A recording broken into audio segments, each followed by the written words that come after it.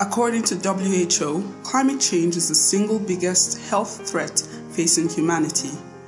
The effects of climate change have been evidenced through natural hazards such as landslides, floods, droughts, heat waves, and the gradual degradation of the environment.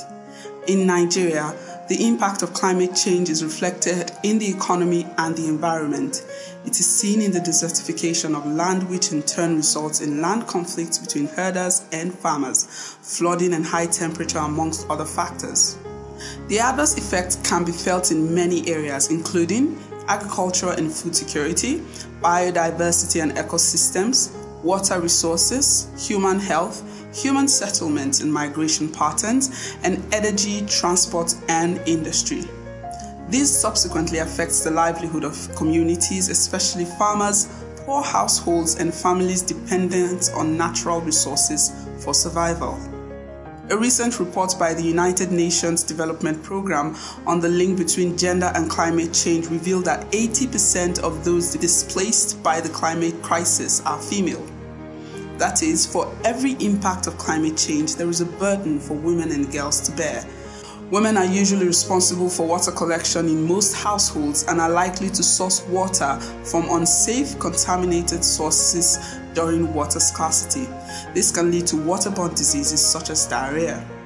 They may also prioritize water for more important activities such as cooking and drinking and neglect proper hygiene, which can result in water washed diseases such as scabies and trachoma. Women are often responsible for household food production, family health, and nutrition, all of which are threatened by climate change. In developing countries, women farmers account for 45% to 80%, two thirds of the female labor force, and 90% of women in many African countries are engaged in agricultural work.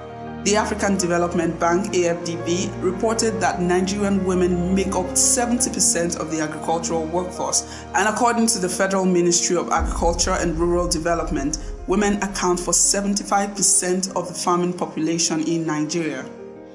Due to climate change, food sources become scarce and unpredictable, and women experience loss of harvest and income. Increase in prices make food inaccessible to the poor, who are mostly women and children.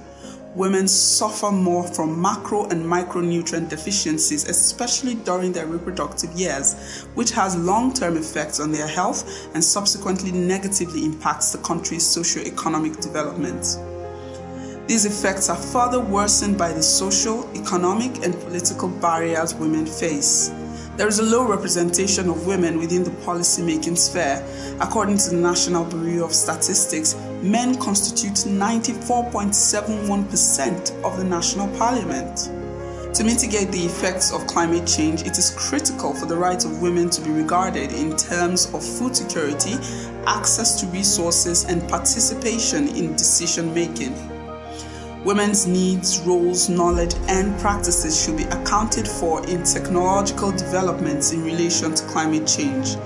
Training and skill development should be made accessible to women as an initiative to tackle climate change.